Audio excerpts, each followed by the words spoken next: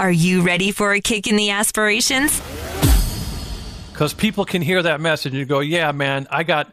I have a book in me. I have, you know, I have. I want to. I want to consult. I want to. I want to volunteer. I want to do this. And fear can completely freeze them. Oh yeah. How do How do they overcome that fear?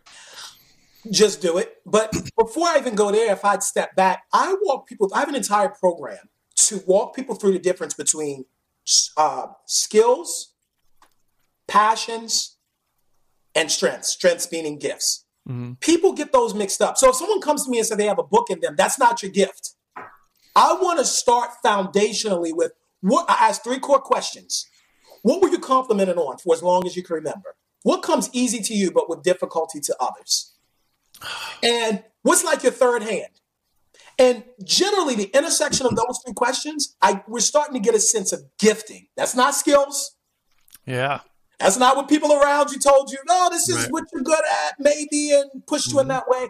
This is, it may be tied to it, but this is centrally. And once you have that, it gives you confidence because I'm answering that question about letting go of the fear. Yep. It's it's harder to be in fear when you're in your element.